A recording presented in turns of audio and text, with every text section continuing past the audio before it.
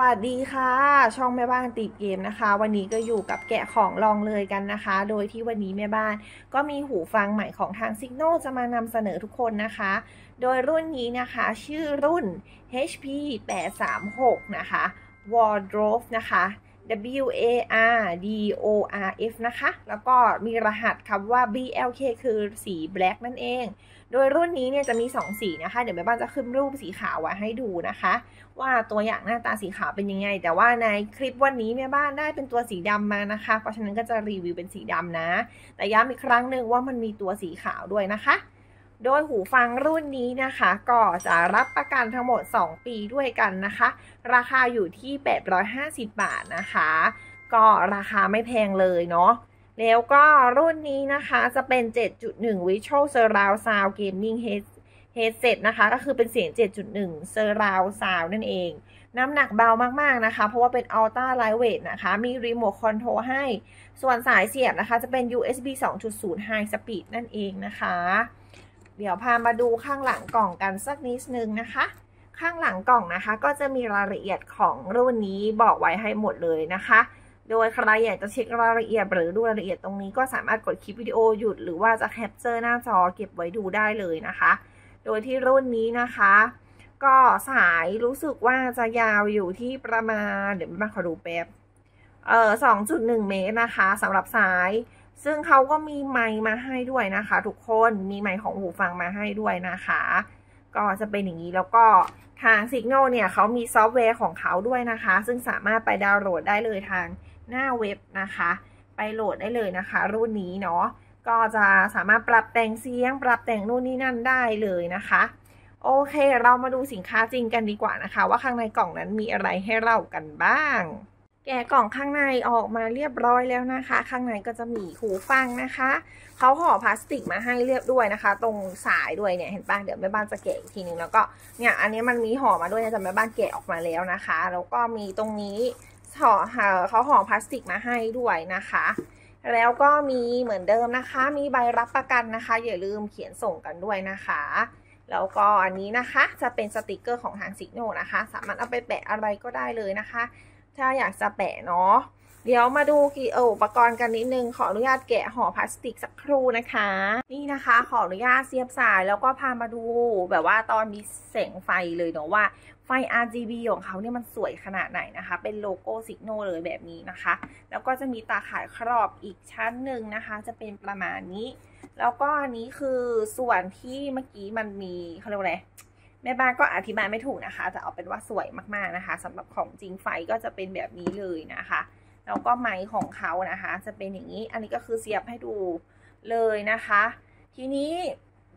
รุ่นนี้นะคะ มันแตกต่างจากรุ่นอื่นยังไง เดี๋ยวเรามาดูข้อดีกันก่อน ข้อดีของรุ่นนี้คือตรงเนี้ยมันเป็นผ้านะคะ มันจะไม่ใช่หนังเนาะซึ่งข้อดีของผ้านะคะ แบบนี้คือมันจะไม่ร้อนนะคะ ทุกคน แล้วก็มา คือพอมันไม่ร้อนนะคะ มันก็เลยจะทำให้คนที่ไม่ได้อยู่ในห้องแอร์หรืออะไรแบบนี้หรือว่าเล่นแบบแค่พัดลมนะคะ อย่างเช่นแม่บ้านเป็นต้นเนาะก็จะรู้สึกว่าเออ มันไม่เหงื่อมันออกแต่ว่ามันก็จะไม่แบบมันจะไม่ร้อนเท่าแบบหนังนะคะ ส่วนข้อเสียมีแค่ข้อเดียวเลย คือแบบผ้าแบบนี้มันจะไม่เก็บเสียงเท่าแบบหนังนั่นเองนะคะ ก็คือถ้ามีใครมานั่งข้างๆหรืออะไรอาจจะได้ยินเสียงลอดออกจากหูฟังไปบ้าง แต่ก็ไม่ได้ขนาดนั้น อันนี้ก็แล้วแต่ความชอบนะคะ แต่ข้อดีก็คืออย่างที่บอกคือมันไม่ร้อนค่ะทุกคน แล้วก็หูฟังรุ่นนี้นะคะ สามารถปรับระดับตรงนี้ได้เลยนะ คืออ่าทุกคนเห็นอะไรไหมสังเกตไหมสังเกตหรือเปล่าคือ นี่ อันนี้มันหมุนได้เนี่ย มันหมุนได้เห็นปะมันหมุนได้ทุกคนคือเนี่ยเอกจะปรับยังไงก็ได้นะคะ อันนี้คือข้อดีของรุ่นนี้เลย แล้วก็มันหมุนได้จริงจังเนี่ยดูดิ เราจะปรับแบบไปฝั่งไหนประมาณได้ประมาณ180องศานะคะ เป็นอย่างนี้นะคะ ส่วนตรงนี้ก็คือถ้าเกิดมันแน่นไปก็ให้ดึงเข้าดึงออกได้เลยนะ อันนี้แม่บ้านก็ลองดึงให้ดูนะคะ ต้องขออภัยที่จะไม่ได้ใส่ให้ดูด้วยนะคะ เพราะว่าช่วงนี้ถ้าพูดตรงคือขี้เกียจแต่งตัวไม่มีอะไรหรอกทุกคนก็เลยเออรีวิวแบบนี้ดีกว่านะคะ ก็โอเคอยู่ ก็จะเป็นประมาณนี้เลยนะคะสำหรับหูฟังรุ่นนี้ ซึ่งนั่นแหละ ข้อดีกับข้อเสียก็บอกไปแล้วนะเอาจริงๆ ข้อเสียก็แทบจะไม่อะไรเลยนะ เพราะว่าเออถ้าเราไม่ได้ไปใส่ข้างนอกไม่มีใครได้ยินเราอยู่แล้วนะคะ ซึ่งทุกอย่างคือสวยวัสดุแข็งแรงนะคะ ก็นั่นแหละ แล้วเดี๋ยวแม่บ้านเออจะลองเปิดเพลงแล้วลองเอาไมค์จ่อให้ฟังดูนะคะ จะได้ฟังเสียงคร่าวๆจากหูฟังเนาะ ว่าเป็นยังไงนะคะ ก็ไม่รู้จะได้ยินชัดเจนมากน้อยแค่ไหนอะไรยังไงนะคะ แต่ว่าจะไม่ได้ลองไม้ให้ฟังนะทุกคนขออภัยด้วยนะคะ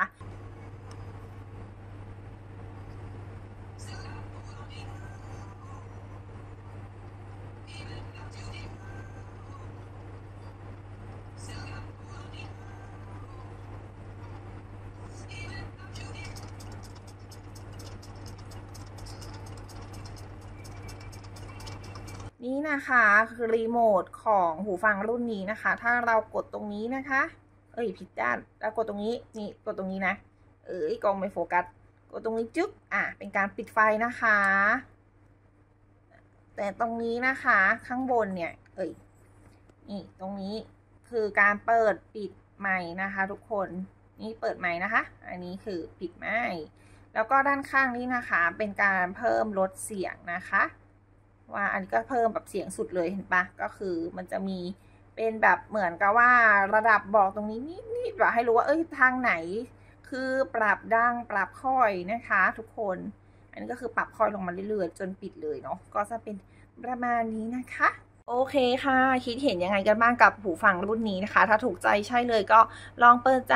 เอ่อไปดูนะคะ ว่าก็ใครมีคอมเมนต์อะไรก็สามารถคอมเมนต์สอบถามทิ้งไว้ได้เลยนะคะ สามารถหาซื้อได้เลยนะคะ ทางเพจ Signo หรือว่าแอปส้มนะคะ ก็มีจัดจำหน่ายตามเอ่อร้านขายคอมพิวเตอร์อะไรพวกนี้ทั่วไปด้วยนะคะ ก็มีหลาย ๆ ร้านเลย เดี๋ยวนี้ทาง Signo ก็มีจำหน่ายเยอะขึ้นมาก ๆ นะคะ ราคาก็ไม่ได้แพงด้วยโอเคสำหรับวันนี้แม่บ้านต้องขออนุญาตลาไปก่อนแล้วนะคะ ถ้ายังไงก็อย่าลืมกดไลค์ กดแชร์ กด subscribe ช่องแม่บ้านเป็นกำลังใจให้กันด้วยนะ เอาไว้เจอกันใหม่คลิปหน้านะคะ บ๊ายบาย